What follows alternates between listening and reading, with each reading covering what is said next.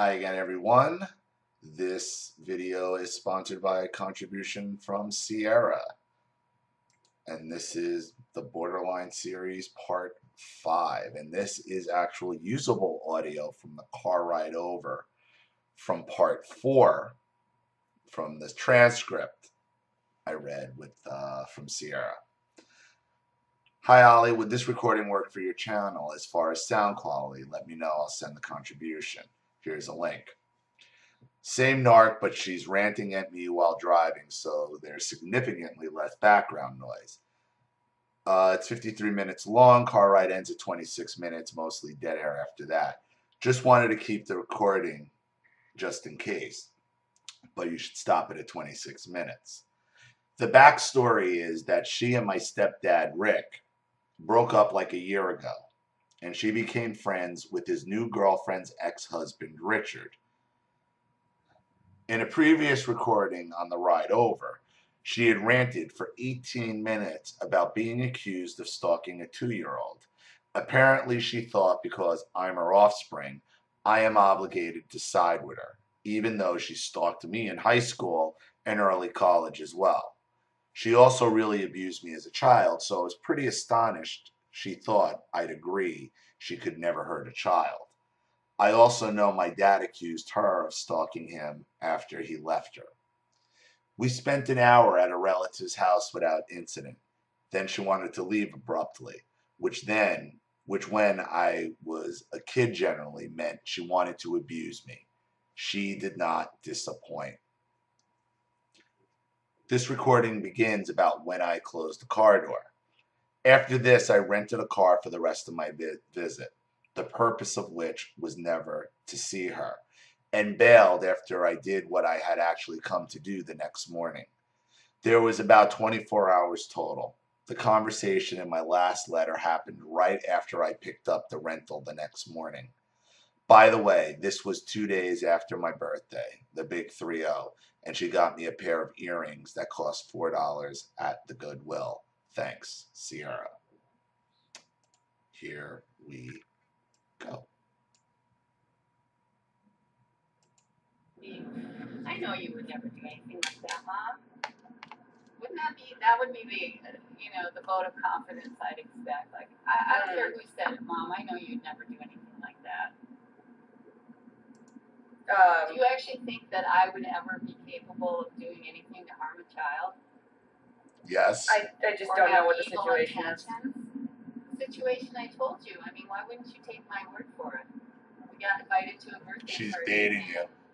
She is baiting her here because she wants it. She wants the accusation so she can deny it and call you crazy and then look for that victimization that she talked about at, at that at that restaurant in the in the transcript. That she's digging for it. She's digging for it. This is like what my father would do and my you know when they're digging for the fight. And when a borderline digs for a fight, oh boy, Ooh boy, is she out for some supply. the other grandmother, the, the father of the child, that grandmother asked me to send her pictures because her camera didn't work. Her phone didn't work. And when I sent her the pictures, that's when all hell broke loose. That's all that happened. Hmm. And I got accused of stalking a child. Hmm. I mean, come on. You know I would never do anything to harm a child. Crazy. Oh, I- You know, you know. They already tell you what your answer is. You know. No, I, I, mhm, I don't. Because she knows you know she would harm a child. That's why she's telling you. She's telling you what your answer is because she knows what the truth is. She knows you know she would hurt a child and stalk a child. She knows it. I, I understand that you want to be neutral or you want to, you want to, uh, you know, everybody likes to be neutral, but I'm your mother. You're not allowed to be. If be ever neutral. said anything like that about you, I would just say, no fucking way would Sierra do anything like that. Bullshit. Period. Bullshit. I'd say the same thing about Brett, you know, about a lot of people I know, I'm Shauna, Hmm. anybody, I would just go, fuck that. You take their side. Of course I would, I, I, or I would, you know, that would be my first reaction, like, I know her like the back of my hand, and I know that she would never harm a child, and I would always go to bat for her. So that's kind of, you know, it kind of hurts my feelings when we say. Oh, fuck your feelings. Facts don't care about your feelings, bitch. The facts are everybody knows you would stalk and hurt a child. And facts don't give a fuck about your feelings. I don't give a fuck what happened. Nothing happened. That's the whole point. Nothing happened, and you don't, you know, you have to trust that your mother would never hurt a child. You have to trust. Don't trust the facts. You just have to trust because she's your mother. That's borderline logic for you. Otherwise, I'm the victim. 'Cause She wants to be the victim anyway, clearly from from the the last uh, video you sent me. Or God forbid, want to kidnap a child or stalk a child. I would never do that. I mean, what would be? I don't even know what my motive would be. Am I some kind of pervert? I don't really know what her motive would be either. I, I try not to assume that I know what motives are. She's not. That's her, her motive is that she's, she's still jealous, even though she wants says she wants Rick, but she's still jealous of her husband. I see. She's really ticked off that that I beat her at her own game. I guess. Beat her at her own game. It's always that's what I'm trying to tell you with these borderlines. And the and the narcissist. It's always a game. And it's the mental game. It's that behind the scenes mental fucking chess that they like to play with people's lives. And then alter the reality right in front of you. She knows good and goddamn well what she did. She knows good and goddamn well you know that she knows that you know she's capable of doing all this. Yet she will sit there in the car and try to tell you otherwise. That's what's funny because she kept going over to his house and screaming at him and asking him why, what, you know, what was wrong with him that he would be talking to me. Mm.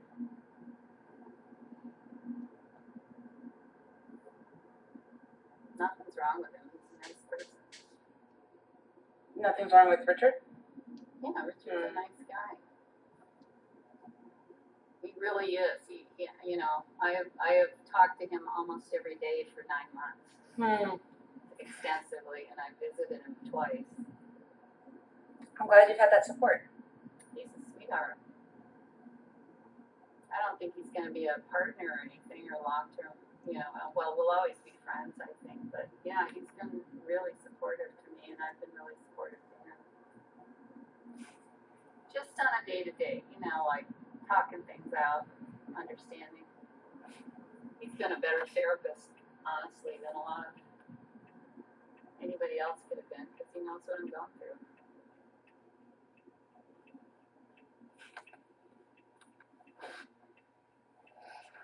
Do you feel like people who know what you're going through? Wait, how does it? First of all, how does he know what you're going through? Not clear on that. Because I got dumped and he got dumped. Ah, I see. Um, and we got lied to, and we got Mm. played, and um, you know, at a point when when Rick was supposed to be really working with me to really make a new start, try and start again and try over, and he, he actually wasn't doing that. mhm. He was sneaking around. You know, I, I don't know. When somebody says, "Let's start over," I love you. You're my best friend. You, you know me better than anybody. I trust you. We've been together all these years. Let's just try again. And, and I put my whole heart and soul into it. And then hmm, a few weeks later, he goes, "Hey, you know what? Fuck you. You lost." Uh, that that kind of hurt. Yeah, it must have really hurt. And um, and with Richard, he didn't even get the benefit of that. She just snuck out in the night, took half his house with him, with her. Had a had a crew of people just go into his house and just he, he got home one night, three quarters of his stuff was gone. Mm-hmm. And she said she, she left a note saying, "I'm I'm not leaving you for another man. I'm just leaving you because I'm not happy," which was a total fucking lie. And um, he didn't even know about that she left him for another man until I called him three months later. Just to rub it in, huh? yeah, he felt a little abandoned, I guess you'd say. Why did you call him again? I can't remember how you guys actually ended up meeting. I called him to see how he was doing. It was three months later, everything looked like it was out in the open. Rick was on Facebook with her, and her children were his friends, and her Uh-huh. friend, her Yeah, you friends weren't his fishing friends. for So cock, right? Well, everything's out in the open now. Mm. Because I, I purposely did that. I waited that amount of time because I did not want to call him and in the event that he was some kind of crazy person, I didn't want him to flip out and go kill her or something. I didn't want to be, I, so I, I thought it was all out in the open. So I called him and I just said, you know, I'm just wondering how you're handling all this. How you doing? He's like, what? He didn't even know. I said, well, you might not know my name, but maybe you know my. Oh, you couldn't wait to tell him. You couldn't wait to tell him. He's like, what? Mm. He had no idea. So from there, I don't know, I really liked him the first night I talked to him. We talked for an hour and a half, and I really, really just like this man. Mm. He's got a huge heart. He's very, very wise in a um, real basic and down to earth kind of way. And Wow. I found him to be very honest. Wow, the enemy of my enemy is my friend. I don't know. And it kills, and it really kills two birds with one stone because your mother can't be without Dick and can't be without a husband.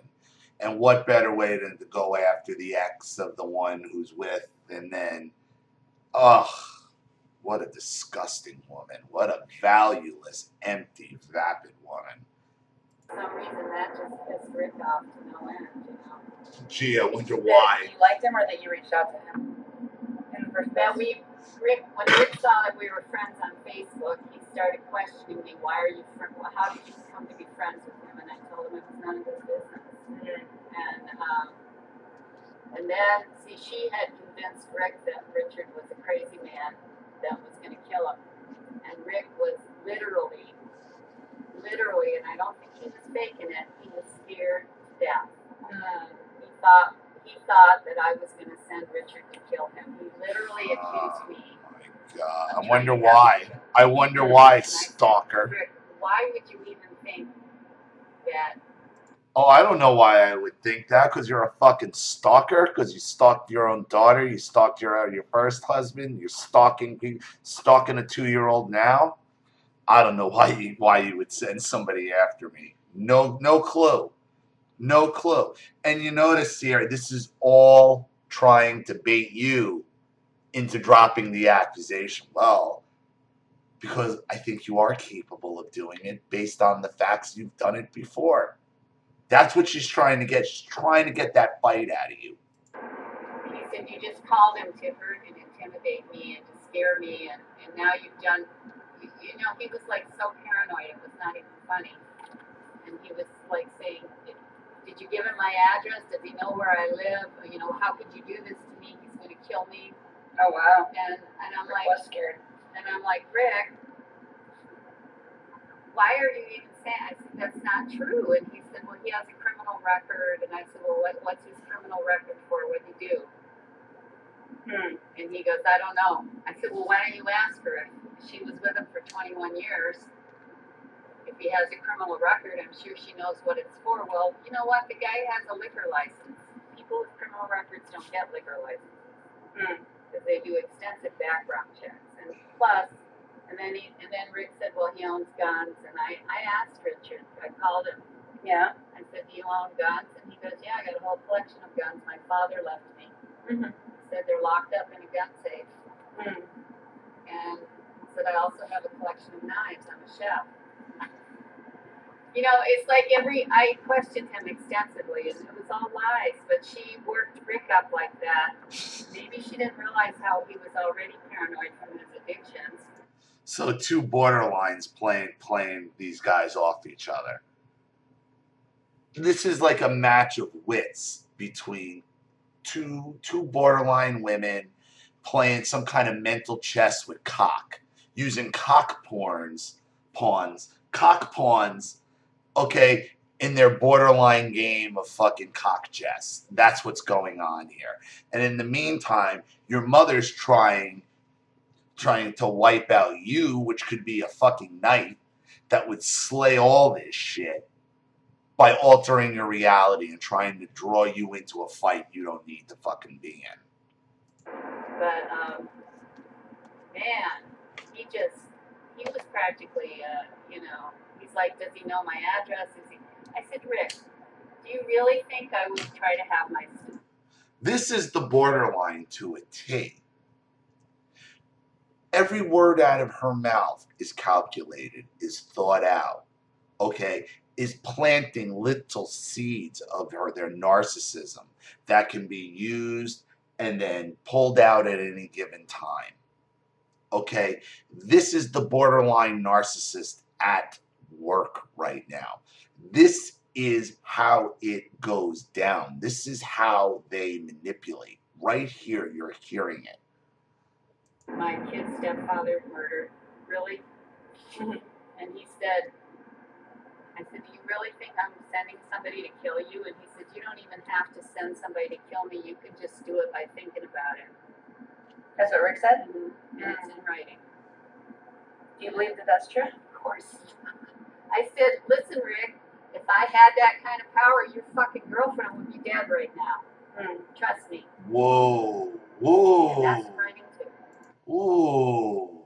See, she likes that. That's supply for her. Because it acknowledges she has this power. So that's why she ones up, one ups it. If I had that power, she'd be dead already. Wow. She likes it. She likes it. Because, in a way, what she's saying is, I can make it happen. She is kind of keeping him gaslighted to the fact that, to the point where, eh, maybe I am manipulating this guy. And it's all so clouded, but so calculated on her part. It's how you know these border why these borderlines are so dangerous. This isn't psychosis. This isn't schizophrenia. And I know I've see, I saw some comments about that. I'm not talking about schizophrenic personality disorders because when I'm talking personality disorder, I'm talking in the narcissistic spectrum. I'm not talking about bipolars. I'm not talking about schizophrenics. I'm talking, this is the woman who would end up on one of those borderline videos on the couches. This is her.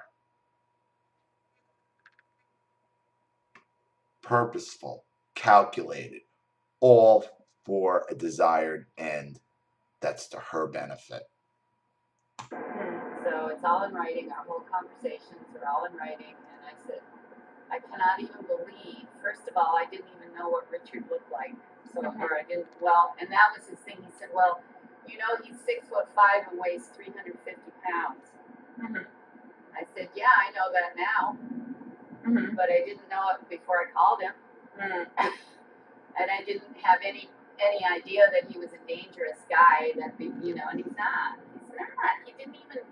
After she left him, he hadn't even had any contact with her in, in the three So let's consider how ridiculous the premise of, of what she's saying is. Okay, Richard isn't scared of um, whoever.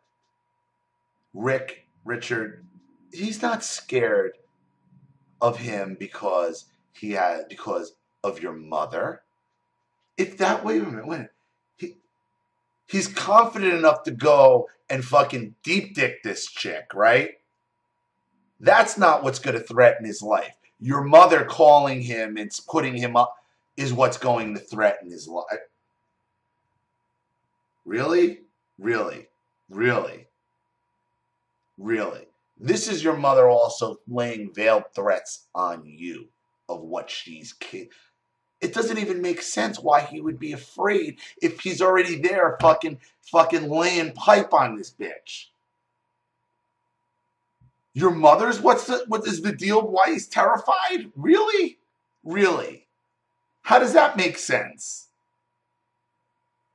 But in her convoluted story, which is all planned and calculated, it does. And that's why she feeds you these, you know, I'm not capable of this. I would, that, that's where it, that's where the altering of reality is coming from. And it's all, it's all being laid out in front of you. months before I called him. And only after I called him and Rick found out is when she came back and started, you know, coming to the, his house and screaming at him and telling him that I was a crazy bitch with a with a sexually transmitted disease and I was a whore and I was a swinger and you know I was this and I was that and, and she thought it was really weird. Why are you two talking to each other? You shouldn't be talking to each other. Hmm. Well, and the reason was I actually was able to tell him things about her that he didn't know because she never told him, but Rick had told me. The Like, borderline you know, loves to tell people shit they don't know. They love to, they're informers. They gather in, that's what I'm trying to tell you. That's what I've been trying to tell you guys for years.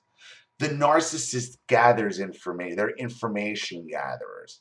Information to be used at any given time. And once that opportunity, they can't stop blowing up your spot giving it they love it because it gives them power her younger years and all the shit she had pulled. So anyway, that's why Rick and she are mad are mad at me and, and Richard is simply because we're friends and we're talking to each other. But they have the same opportunity to tell each other everything they know about us, so why shouldn't we have that opportunity? As my mother used to say, what's sauce for the goose is sauce for the gander. Yeah. Too bad. and you know what i say? You're 60 something fucking years old. Grow the god are you fucking serious? This is a high school another high school cheerleader fight. You stole my boyfriend. I'm gonna steal your butts boy. Why are you friends with him on facebook? Holy god these are people in their 60s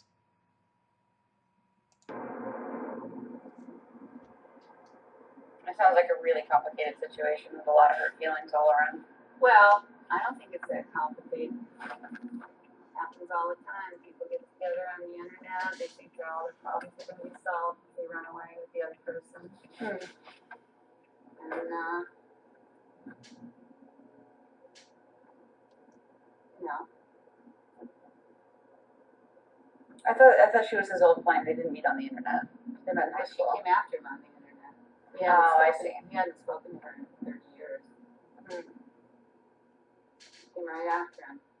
And when she first came after him, he told me.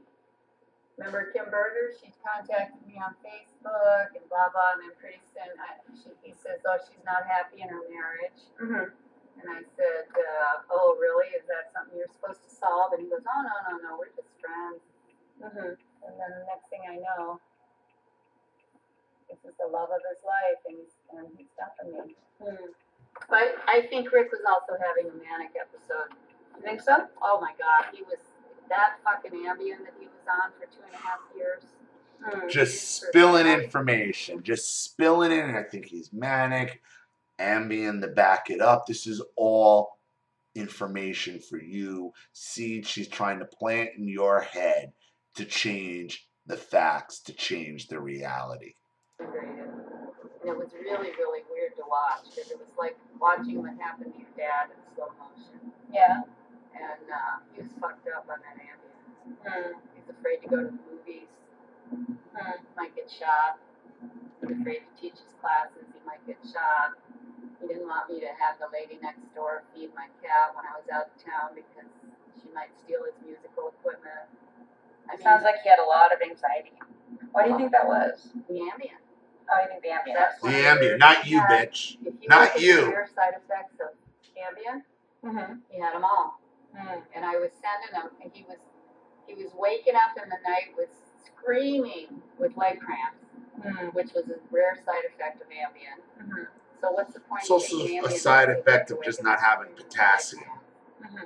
He had uh, he was paranoid. He started having extreme panic attacks, Mm. which he blamed me for. Oh. Um, he blamed me for everything, everything that was happening to him because of the Ambien. He was blaming me for, and I was saying, "No, Rick, look at this list of side effects." He became very. He was coming unglued. He was constantly asking me, "Did I take my asthma medication this morning? Did you notice if I took this? Did you Did you watch me take that?" I'm like, "Rick, yeah, one of those things your medicine in it, seven days." Hmm. And that's then you'll know if you took it or not. No, no, no. He's confused. He doesn't know. None of it's her fault. She has a.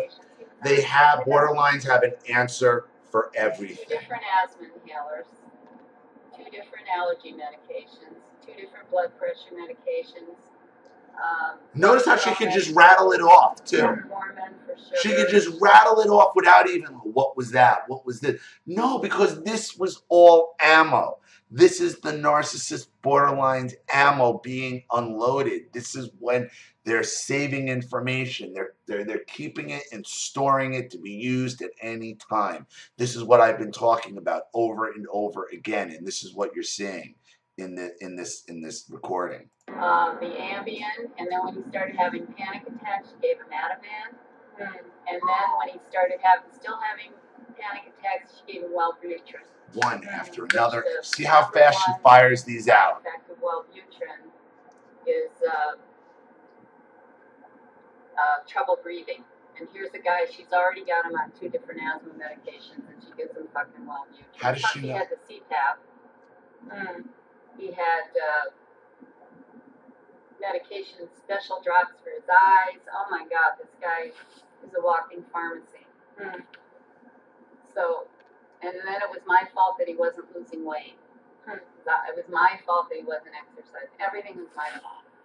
And I Hmm. kept just showing him that list and saying, Rick, you need to get off the fucking Ambien. I can't believe she prescribed it to him. You're not supposed to take it for more than two weeks. He was taking it for two and a half years. Hmm. And he was drinking Mhm. a lot, I would drink too. Yeah. And, which this is something I found out at Keep the very spilling, end, spilling, he spilling. all his money that he made in those three years. Mhm. He lost forty or fifty thousand dollars gambling. Hmm. That was why, that was, the you know, when all of this was starting to happen, that was one of the reasons I needed to get a divorce from him, because I was afraid he's gonna take me down with him financially, and I didn't want that. So luckily our assets. Oh, but you tried to get back once uh, once all other You know, options failed, happened, huh? He was addicted to cigarettes and uh, Vicodin. Mhm. He used to be chewing up 10, 12 Vicodin a day. One after another. It I just, depending just. on what you're taking, it that's not necessarily a lot. Uh, I'd be more concerned. I hope you realize this whole speech has been planned. She has rehearsed this in her head, one after another, after another, after another. about the Tylenol. He didn't have a in the to Vicodin. Oh, I, I have no idea why he was He was- taking it when you met him. He was an addict. He told me, I'm addicted to it. He was working. at- Anybody that takes Vicodin regularly will become addicted. Yeah, but he, but that was the only reason he was taking it, was because he was addicted to it. Oh, okay, okay, okay. So not only does she know all the medications, when they're she no no he was an addict, so she already has the pushback. Do you understand like how calculating and how dangerous and how sick in the head this woman really is? No, you do. That's why you, you're subscribing to me. Why did he start taking him? Rick was a druggie. Just a druggie, no legitimate re- just a druggie, just He used to do a lot. every opportunity they can show, they can give, no legitimate reason whatsoever, even if he did get hooked on Vicodin. Just a druggie, not he had an injury, not any. It's all. It's all him. And this is the way it is with every borderline. This is how they roll. This is what they do. This is the level of manipulation they all they all do it. Those women, those borderlines you saw in that first video. This is the effect of what they're talking about. This is the shit they were all fucking pulling what ended up ended them up on that couch where they painted themselves into a corner and decided, you know what, now I'll use the fucking disorder to my advantage. This is what they won't talk about. This is what they don't take responsibility for. This. Because right now, if you said borderline personality disorder to this woman, she'd be like, no way, you're crazy, I'm a victim, da da da da da. You know what's going to come. It is until this woman is out of fucking options that she says, oh, I have borderline personality disorder, I'm a victim, it's not my fault. How is this not her fault? This is all planned, thought out, and with a fucking purpose. And the purpose is to confuse, to purposely confuse people, lie to them, alter the facts to protect her own shitty goddamn behavior. That's why they're monsters. Speed. He was a drug mm-hmm. dealer. I mean, Now he's a drug dealer. I'm just saying, and he often said to me, I'm an addict. Mm-hmm. I'm. Yet, you tried to get back with him. You're talking to him every day for nine months. This horrible, horrible, horrible guy. Right? To the point where the chickies with X, you're going to fucking go and find. Really? You have this laundry list of fuck ups, and he's just a drug dealer and a drug addict. Yet, we're to believe all this to be true, yet you were trying still to get back with them. But you had to divorce him because he was going to take you down. And then what, ha- what, what, what, what happened? The reality is right in front of everybody. And they'll try to alter it before your eye, and it's all right there. And when you can step back like this and look at it and see it for what it is, and then you see those women in those videos, you, you, you understand these are monsters. These are monsters that society is trying to make the victims and forget about all of us. Good personality. And that was what was going on with all the other. You know why he got off the Ambien? Why? About two weeks after I left him. Hold on, hold on, hold on. It's going to be a fucked up reason. I guarantee you he didn't get off Ambien for any good reason. It's some other fucking shitty reason. What, what is it? He called me and he said, uh, I'm off Ambien now. Because I kept begging him to get off because I'm off it. I said, what, what made you get off it? He got up in the night. Uh huh. Get up one morning. And he, uh, the, his whole kitchen was a mess that he had obviously cooked a meal hmm. and eaten it in the middle of the night. Yeah, that's that's not uncommon with Ambien. But it, but after two and a half hours. Yeah, there's a lot. After two and a half years, What about it? well, usually that happens when you first start taking it. Oh, I don't know that that's true. It is, I don't know that you know that that's true. honey, look around, please, I've researched it. So even his reason's not legitimate, and even if it is, it's proving. I, what, what what's what's what's the point here? It's just trying to pile on. I don't know that you know as much about drugs as I do. I don't rely on other people's knowledge of drugs. Well, anyway, based on the research I did, that was a symptom that, uh, that's, that's why Ambien, and also, I know that's a thing that can happen with Ambien. did you know that gambling is also a known side effect of Ambien? It's an side effect of a lot of drugs, yeah.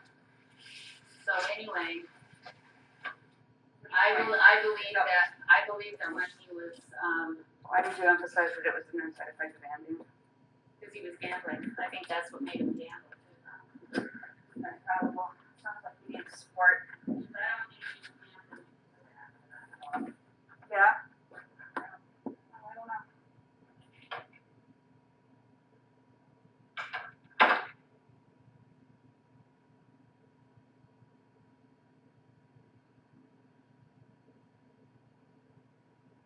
I guess they're inside now.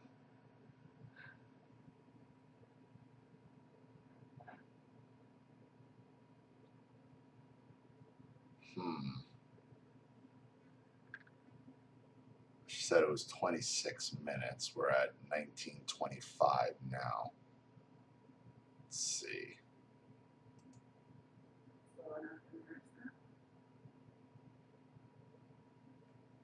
Um, the thing is the water's covering the end of it, right? right, but you want it to be filtering through more of the water, so ideally more, like you'd want it to be like, but, but if you put more in, it would be better. More is, more is better because you want it, you're, it's bubbling through the water and, and stuff in the smoke is, is touching the water, so you want it to be in the water as long as possible to get the most particulates out. You may also want to run, uh, some rubbing alcohol through that because it looks a little bit dirty and it won't taste good. And rubbing alcohol will clean it. Um, I may have to step away to chat with my friend Conrad. Some point in the Do you wanna next. do this first? or you Uh, wanna- let me check in with him. See if he's.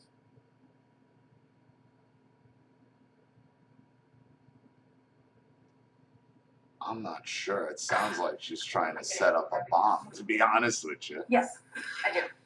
I clean my pipes. I have cleaned my pipes with rubbing alcohol as well.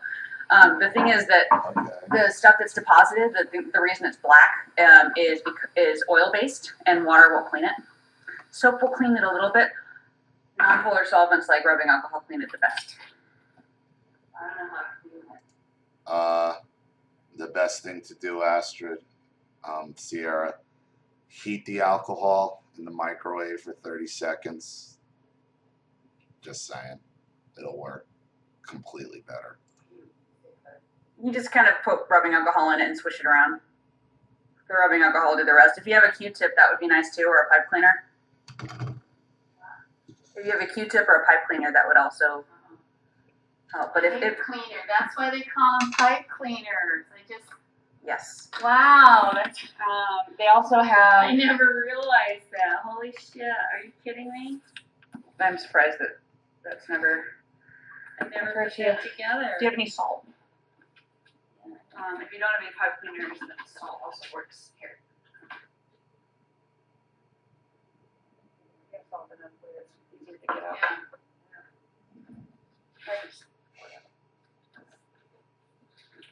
Yeah. Salt is abrasive. Um, and doesn't affect the polarity. Solvent. Um,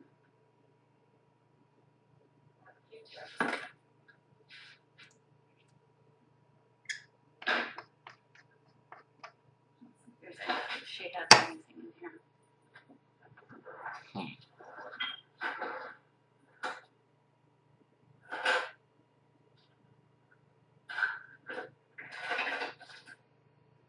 So what do you think of my brother's house? Isn't that nice? yeah, Isn't he sweet to say I have a place to stay if I need it? yeah, on his couch. No, I have one of the upstairs bedrooms. Oh. Yeah, that's very sweet. You think you'll stay with him? About that? No, it needs to be ideally flexible. So, Um, I don't know what I'm gonna do. I, I mean, I need to go back. My car's in California. if you don't have anything, it's, it's not a big deal. But at some point in the future, you may want to just soak it in rubbing alcohol for like a while. Like, like put it in overnight and then in the morning it'll all come out. Oh, there we go.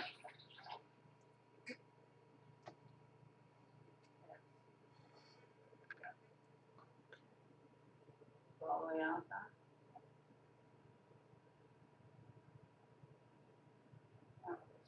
No, I, uh, I don't know what I wanna do. Everybody keeps asking me, but you know what? That was happening in California too. And then I made a decision. I came out here. I'm so happy that I did because this is where I should be. Okay, you're gonna out here. Well, I wanna be, I wanna have a headquarters out here. I wanna own a house. Cool. That sounds like a plan. maybe some rental properties. Mhm. The one rental property I looked at has, uh, like an area in the back that's a whole big other yard, and I was, I told the real estate agent to see if I could build a tiny house out there. Mhm. Um, or I could just buy some acreage from somebody and, or I could just buy a little house and remodel it the way I want it. Yeah, got lots of options. I mean, when you can get a house for thirty thousand dollars, you can have a lot of money left to play with, right?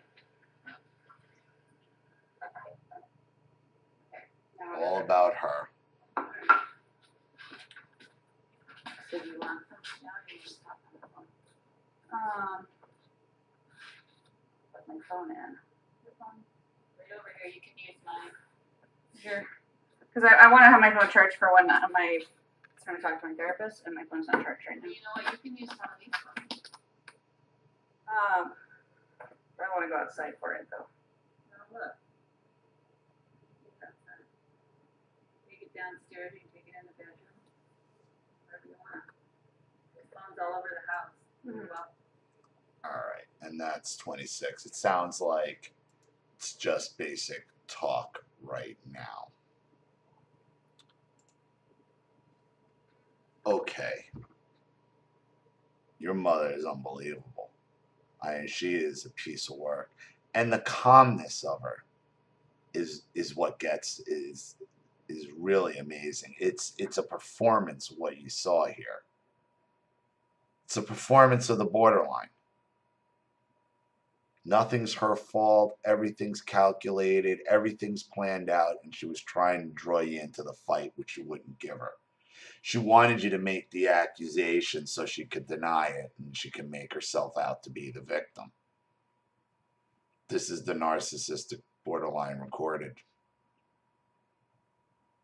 This is their tactics, and this is what they won't talk about in those videos. So. Thank you so much, Sierra, again for your contribution. Thank you for the recording. I really appreciate it. Thank you to everybody watching. Please leave any opinions or advice in the comment section below. And again, if you want your story read on the channel, you have a topic you'd like me to cover, a narcissist you'd like to expose, or you'd like to set up PayPal, uh, I'm sorry, you'd like to set up Skype, a private message, a private video, or a private phone call, you know what to do with the PayPal and email links in the description box. And if you're still unsure, wait for the final video link to pop up on the video. That is the instructional video that explains my channel and how to do all that. Also remember to like this video, share it where you can, and subscribe to the channel. Also hit the subscription bell to be notified of all my video uploads. This is Ollie Mathews. Thanks for watching. See you all again soon.